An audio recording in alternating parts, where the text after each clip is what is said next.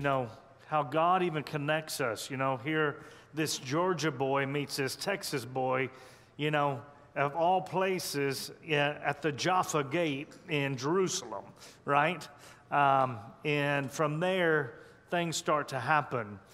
Hearts start to be heard as we go beyond what's, you know, our insecurities and straight to the place of what the Father has been saying over both of us. And then we start to talk and dream and start to strategize on what the Father has in His life, what the Father has in my life. What is the call on your life? Um, Kurt, what's the call on your life, Jason? And then from there, things start to happen. And then connections begin, then heart connections begin. Then all of a sudden, prophetic utterances begin over each other. And then the next thing you know, those prophetic utterances just stop just being utterances, but they're actually prophetic timelines that are now lived out. That's the kingdom. That is how it works within the kingdom. And I want to talk about a little bit about that is what is your call? Do you know your call? Um, you know, we were just talking last night. I mean, even some of the things that they're doing that they fully can't get into sometimes just for safety purposes, but there's a new approach. We find ourselves, just like Ava was talking about, we find ourselves in a time in history that we have never, ever walked in before, in the sense of you don't know what you don't know. You're going to need God in every single moment of your journey. Amen? You know, um, I don't even know fully where He wants to take us. This morning we woke up to a, to a puppy that is probably dying, so Mandy's not here, you know. Um, and I'm always like, something's always going on when the Lord's doing something, kind of like the earthquake, even, you know? It's like those people, I mean, how many were there, we think? Oh, maybe 60,000? Maybe more than 60,000 died one day? They still haven't gone into certain places and found, they still haven't even been able to excavate some rubble. I mean, that's how much devastation we're talking about. It's been months and they still have not been able to get to all the places that have been destroyed. I want to go into Acts chapter 9. If you have your Bible, you can turn with me there. And I just want to go into some things, and then I, I, I want to see if the Lord wants to connect some dots for us this morning. Amen? Can we go there? Okay. So it says in verse 1, it says, Meanwhile, Saul, still drawing his breath hard from threatening and murderous desire against the disciples of the Lord, went to the high priest, and he requested of him letters to the synagogues at Damascus authorizing him so that if he found any man or any men or any women belonging to the way, I love that, of life as determined by faith in Jesus Christ, he might bring them bound with chains to Jerusalem. Now, as he traveled on, he came near to Damascus, and suddenly a light from heaven flashed around him, and he fell to the ground. Then he heard a voice saying to him, Saul, Saul, why are you persecuting me? Why are you harassing me, troubling me, molesting me? And Saul said, Who are you, Lord? And he said, I am Jesus, whom you are persecuting. It is dangerous and it will turn out badly for you to keep kicking against the goad, to uh, offer vain and perilous resistance. Trembling and astonished, he asked, Lord, what do you desire me to do? Let me just stop right there. If I look at the name Saul in the Hebrew, it means to be desired, prayed for. You see, if you don't understand that God desires to walk with you,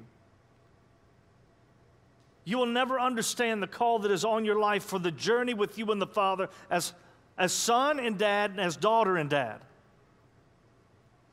Now, I'm going to tell you right now, it was the fear of the Lord that awoke me to the call in my life.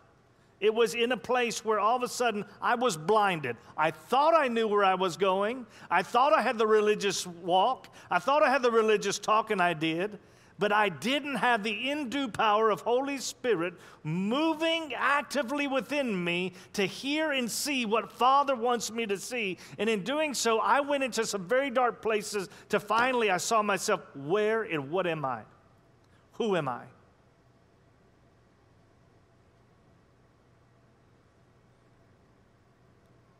And when he fell to the ground, that was when I started to see the call over my life. It was not in my good times, right, like you were talking about. It's in the fall of my life that I go, wait a second. You're getting my attention for something right now. You're shaking something up like the earthquake within me right now. And but religiously, we don't ever want to talk about that. A sister of mine just last Sunday, we were talking about, she said, You know, thank you for not trying to get me out of this time of mourning. Because I needed to mourn with the Father. But a lot of times, what do we do? If somebody's mourning and we don't like it because it stirs something in us, come on, wake up, get up, you're okay. He says, Mourn with those who mourn, weep with those who weep, celebrate with those who need to be celebrated with. Amen? So it's interesting. It says, then he heard a voice saying to him, Saul, Saul, why are you persecuting me? It says this, and Saul said, Who are you, Lord? And he said, I am Jesus. Now, this is the one. Now, Saul has been putting people who believe in Jesus to death in chains. He said, I am Jesus who you're persecuting. It is dangerous and it will turn out badly for you.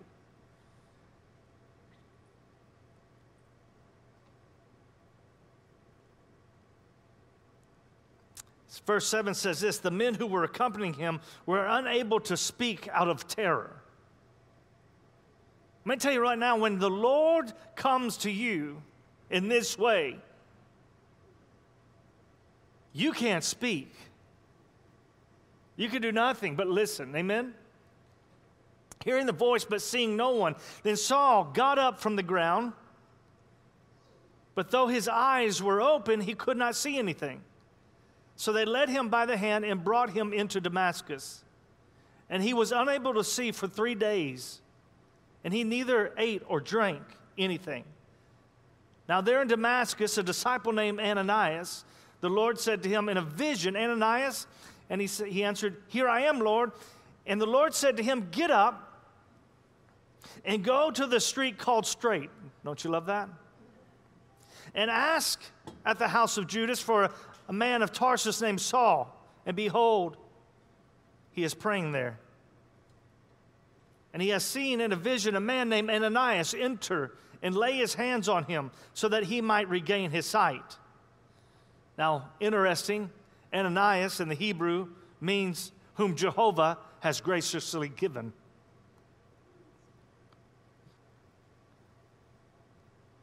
And Ananias answered, Lord, have I have heard many people tell about this man, especially how much evil and what great suffering he has brought on your saints at Jerusalem. Now he is here in his authority from the high priest to put in chains all who call upon your name. But the Lord said to him, Go, for this man is a chosen instrument of mine to bear my name before the Gentiles and kings and the descendants of Israel. For I will make it clear to him how much he will be afflicted and much endure the suffering in my name's sake. So Ananias left and went into the house. And he said, and, and he laid his hands on Saul and said, Brother Saul, the Lord Jesus, who appeared to you along the way by which you have come here, has sent me that you may recover your sight and be filled with the Holy Spirit and instantly something like scales fell from Saul's eyes, and he recovered his sight, and they arose, and he was baptized. Now, let me just ask you a question Have you had your Ananias come to you? You know what's interesting is Paul, after he regained his sight, after the scales came off, it wasn't, uh, why don't you give me a month or two or maybe a year and let me find out what I need to do? It was instantaneous. Instantaneous, he started to speak of who? Jesus. It was instantaneous that all of a sudden it started to stir in him. What he once was doing to, to persecute, now he's doing to set free. He knows his call.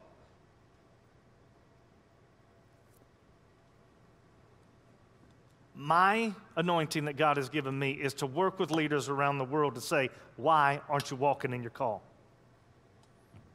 That's my call. So, what do I do? I walk around with leaders asking them why aren't they walking in their call? And if I don't do that, if I don't challenge that place, guess what happens? You need to understand that you are desired by God to walk on a journey with God, to walk it out with Him. What is the call? Is the call video games? Okay, it might be for the Lord. Hallelujah, glory to be to God. But it's not about what you do, it's about who you are. It's about what God's given you, it's what God's saying unto you. It is the journey aspect that we've got to understand and see. And you know what? Maybe you need to have some scales peeled off your eyes today. Maybe you need to come out of the darkness, out of the blind place to see today, like I did. I'll never forget it.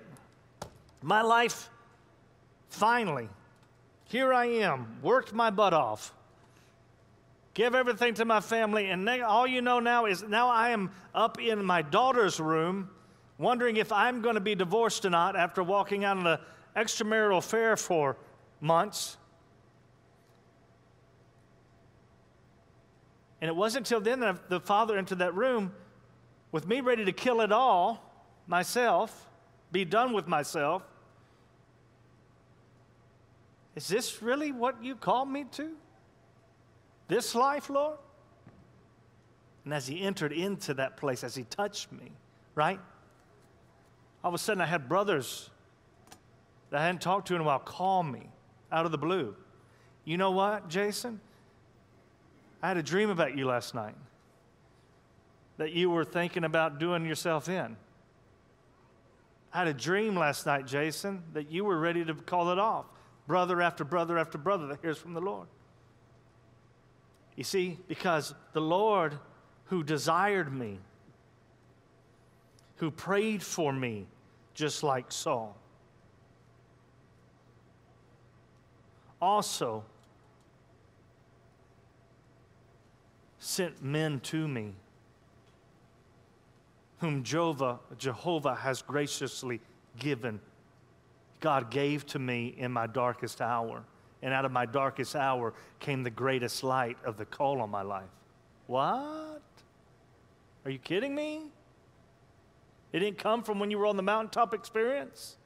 It didn't come when you had every scripture memorized. It didn't come when you had actually laid hands on 50,000 people. It didn't come in all these things when you had given over a thousand sermons. No, it came in the, the darkest area of my life, when everything was black around me, He engulfed me, touched me, and took the scales from my eyes and showed me the purpose that He had for Him and I.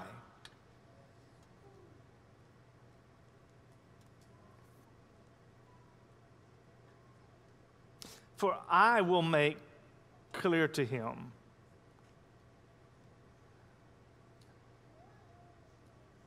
Listen to this. And instantly the scales fell from Saul's eyes, and he recovered his sight. Then he rose and was baptized. Now listen to verse 19 and 20. It's amazing. And after he took some food and he was strengthened for several days afterward, he remained with the disciples at Damascus. Verse 20 says this And immediately in the synagogues he proclaimed Jesus.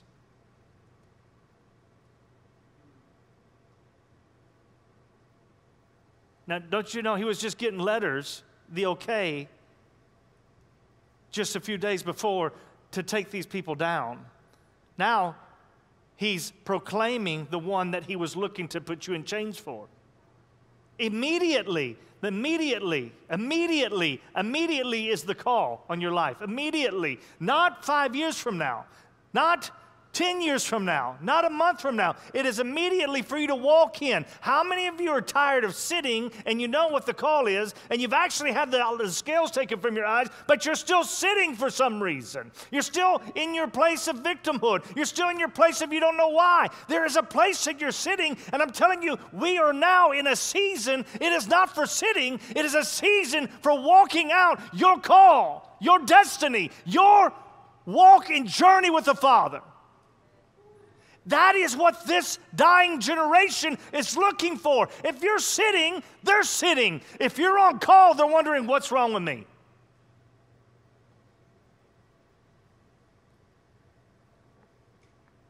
We talked about this on Friday. There are no what ifs for believers. There are no ifs for believers. Well, if I give this, or if I do that, or if this happens, this, what? Stop. What is he saying? Have you had your Damascus Road experience? I know mine, it wasn't easy. It liked to kill me, scared me to death, put me on my knees. Never, thought I, never knew I could cry that much. But afterwards, it gave me what I needed. When the scales came off, all of a sudden I could see wherever you're going to send me, things are going to happen. I don't care what the persecution, I don't care what area I go into. If you're calling me in there, I trust you're going before me, and I know that I am on call with you, and we're going to the exact place that you need, right? What if all of us walked in our call that way? What would be happening right now? If all of us walked in that way.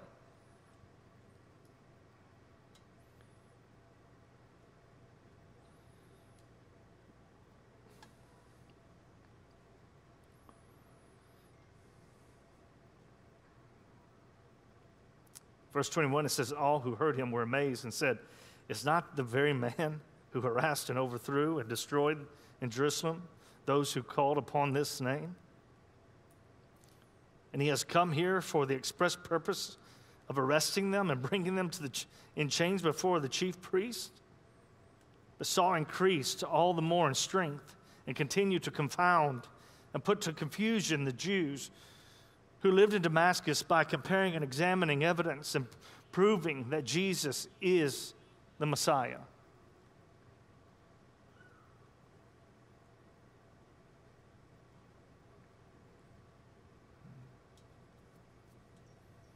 You know, we look at your lives, Kurt and Ava, and what you, God has called you to Turkey. And sometimes we put the measurement of that like, okay, then do I have to go somewhere?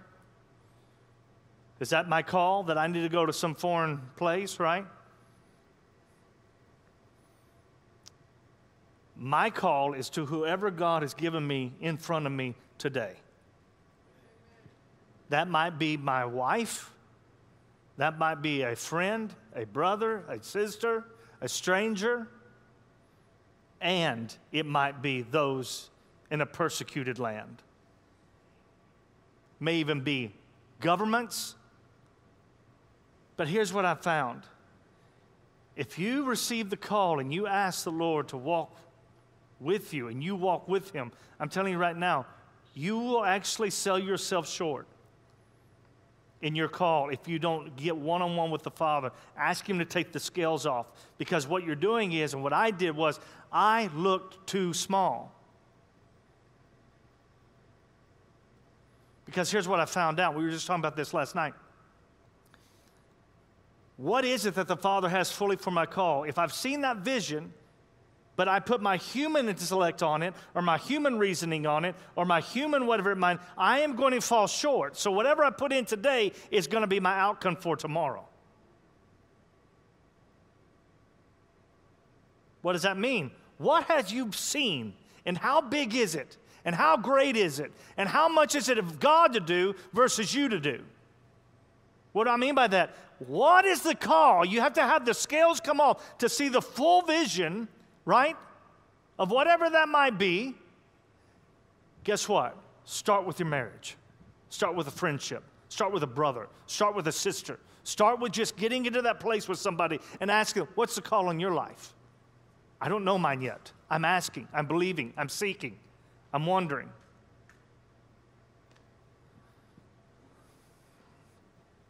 Does this make sense today? Okay. Are you sure? All right. I want to go to Acts 13, and then I'm going to close this up here in just a minute.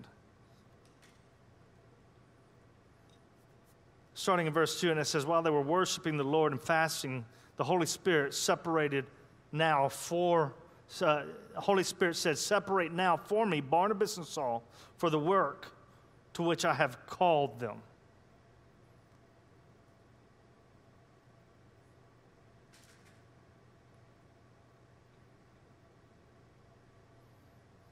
Have you ever been that guy that or girl that you walk in and says, somebody will do it?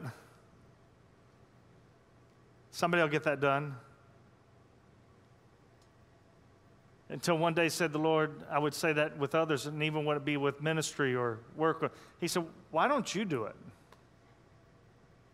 Why don't you step in and do it? Why are you letting everybody else in that place and then you complain? Why are you the Monday morning quarterback? Why don't you get in there and see what it's like to be on the field? Why don't you get in there and see what it's like to get tackled? Why don't you get in there and see what it's like to get your head ripped off? Why don't you stop sitting back and looking and why don't you get involved? Why don't you see what they deal with, what they pray for, what they have to deal with? This is the call. And then all of a sudden, when you get in there, your grace level and meter goes way up. Why? Because you realize you want that grace over you when you walk it out. Amen?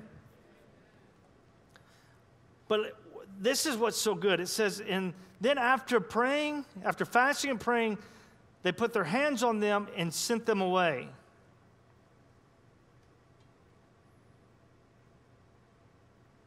So then, being sent out by Holy Spirit, they went down and they sailed away to Cyprus. And so let me tell you right now what are you waiting on? What are you waiting on? Is it the start? Okay. What does that look like? Is it the end of things? Well, you know what, Pastor, you know, my, my, I can't really dig it too much into my retirement right now. Okay? Might be the case. Or you know what? I just really don't have any money to do this, that, and the other. I really don't know what I need to do. I'm going to tell you right now this season that you find ourselves in, in this country, in this region, I'm telling you, the body of Christ is needing to see the sons and daughters walk in their call. And that is what most people leave this church about is because you come in here, we have given, we have given, all of us have given, us included in the church, have given a perpetual lie unto you and told you, I will do your faith for you. That is a lie. I can only do my call. You can't come in here and lean on my faith. And I can't come in here and lean on your faith. You have to walk your faith out because that is the place that I believe on the judgment day. It's not so much about what we talked about the other day and even what Bevere might say. It's not about what your sin. You see, the blood of Christ covers your sin. I believe the judgment seat of Christ will be did you not want to walk and journey with me on the call that I bled for and died for with you and I?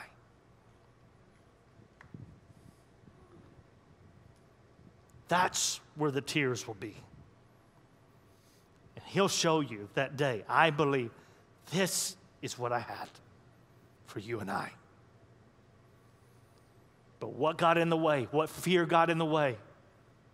What anger got in the way? What feelings got in the way? What judgment got in the way? What got in the way? Are you kidding me? That that person can have more power over the living God, the King of Kings and the Lord of Lords that has called you, breathed life on you, that little situation is greater than the Lord?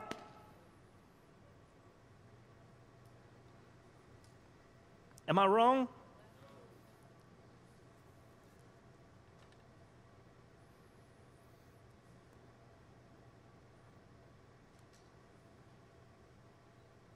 My heart breaks.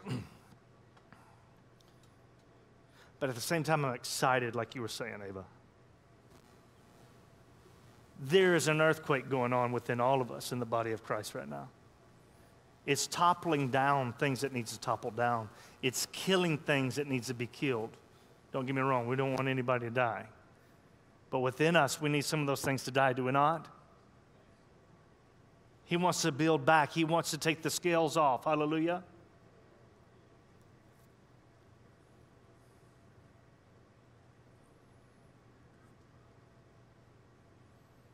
So, do you feel desired?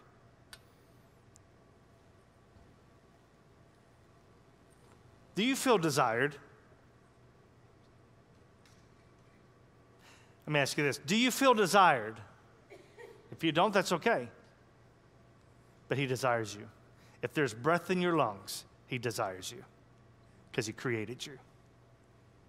Hallelujah. If He desires you, just like Saul, and He prays for you, then there's something He's about to give unto you. And what he's about to give unto you is an Ananias.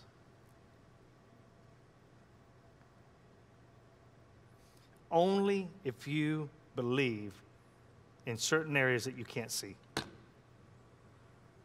If you believe you can see, you don't need Ananias.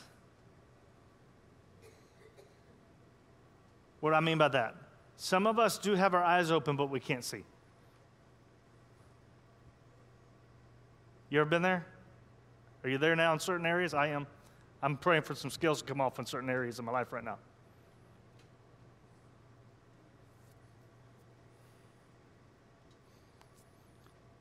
But if he desires me and he prays for me, then guess what? He's going to graciously give unto me. What is he going to give unto me? The call, the journey, the relationship. To have the uh, worship team come up.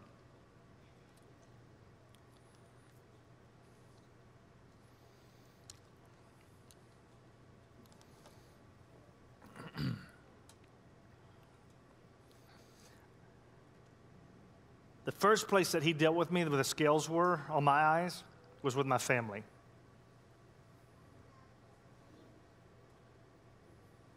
I had to go back to my children and say, Forgive me.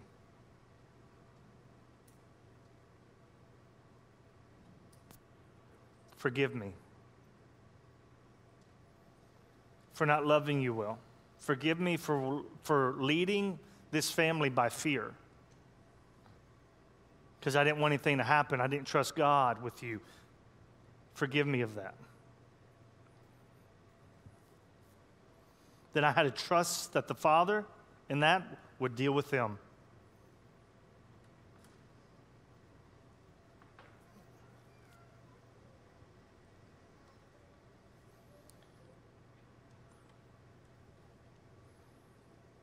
It's a really good friend of mine.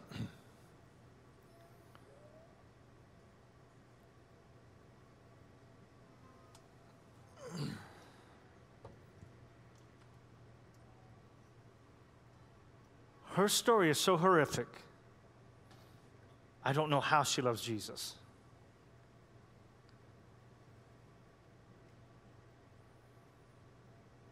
But the father would allow many, many, many, many men to rape her.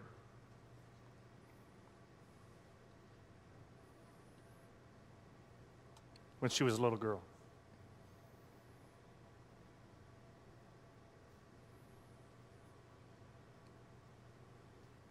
She is the most genuine, loving woman of God I've ever met. She went to hell and back trying to deal with these things. But you know what? She's on call. She's on call.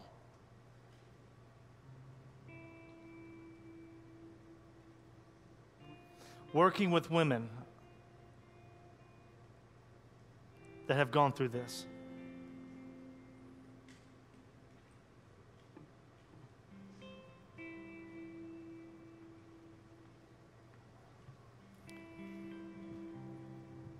That weak place can be your strength with the Lord. Or that weak place can be your anger with them. Caught up, locked up.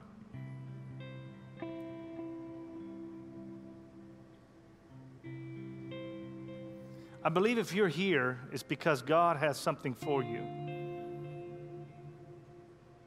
How many of you know it's more than what you're seeing today? Raise your hand. Praise God. Kurt, Ava, I'm going to have you come up.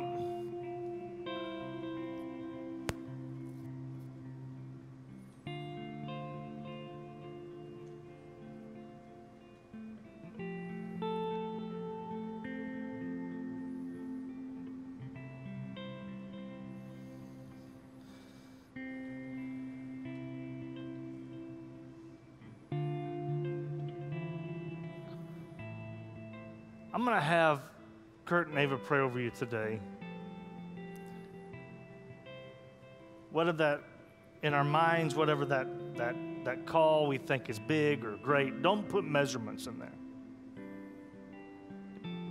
It starts little. Don't despise the little things. Amen?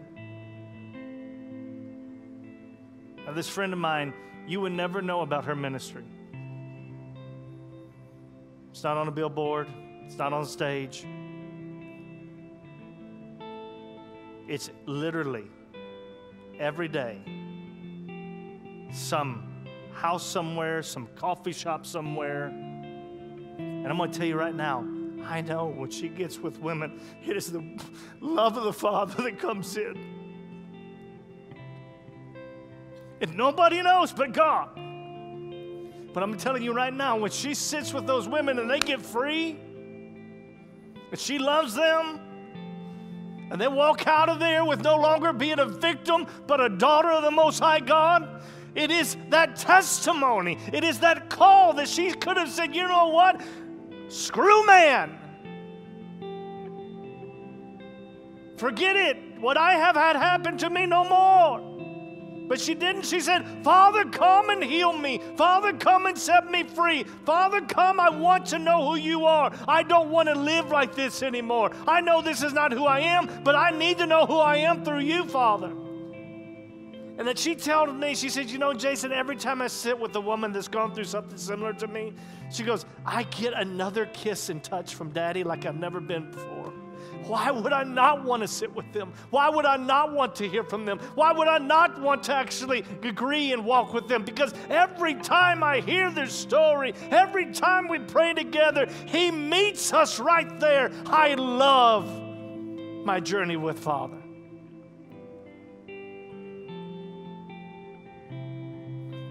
Oh, we are missing out on so many things. If we allow the things that have happened in our lives to take away from the precious gift that the call on the journey is with Daddy, with Abba.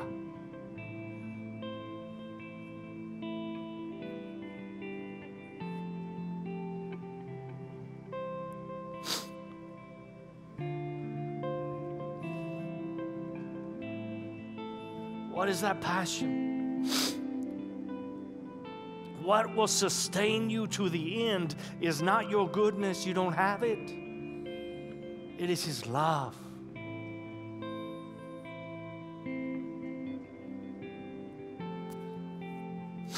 I heard Steffany Gretzinger say this just recently. She said, You know, you can bless God. You can really bless God, but you can never impress Him.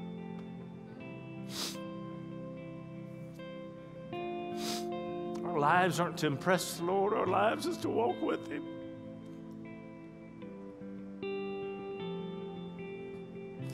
That's all I need. I just need to be with Dad. And if Dad is talking to Kurt and Ava in Turkey, I want to be where Dad is. If dad is sitting with my son or my daughter and talking through things that the past password to her, then that's where I am if it's at coffee or if it's at a conference room or if it's at a skate park, that's where I want to be. Here's the lie the lie that has been perpetrated throughout the church is that it's only for a select few that take this stage. No. No, when Paul talked about all those churches in, in Asia Minor, in Turkey, he would come in and say, You guys are doing amazing.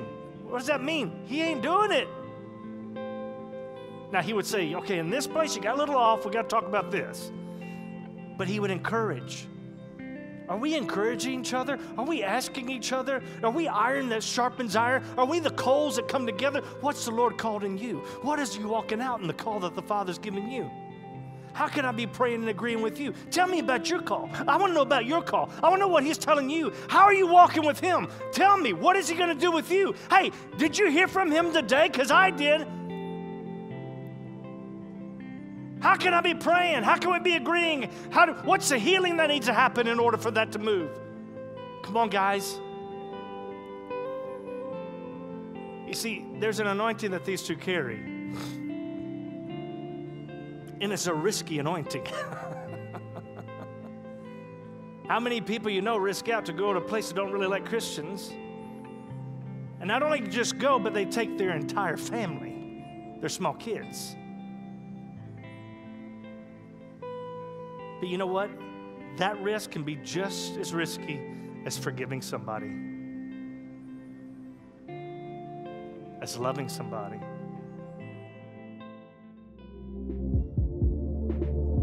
The refuge is located at 130 Gulf Freeway North in League City, Texas. Come join us Sundays at 10:30 a.m. We value his presence and we value his people. Find out more at www.therefuge.live.